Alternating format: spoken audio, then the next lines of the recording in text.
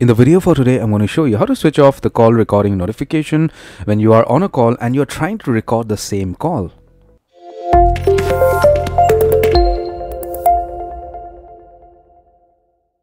So I'm going to show you how to do this on an Android 15 device, but if you have an older version of Android, not a problem, just follow my video till the end. I'm very much sure this is also available on your phone. So the first thing is get hold of your Android phone and once you do that, open the calling application then you click on the menu icon to the top left. Then you click on settings. You get to this page. Here you scroll down, click on call recording. You scroll down a bit and then you turn this on, play audio tone instead of disclaimer. Click on agree and we are done. So now the next time you try calling somebody and you want to record the call, it is not going to notify you or tell you that the call is being recorded.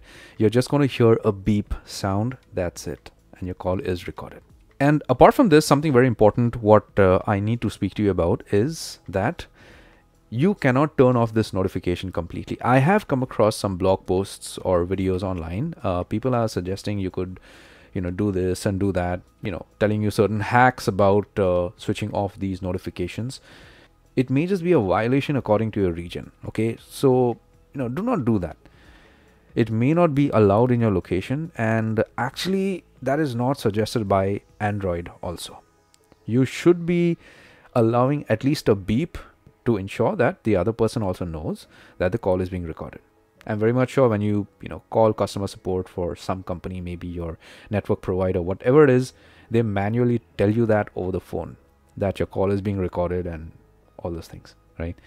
So it is unethical to completely switch off even that beep. Imagine somebody is calling you and recording the call from before itself without letting you know about it. How would you feel about it?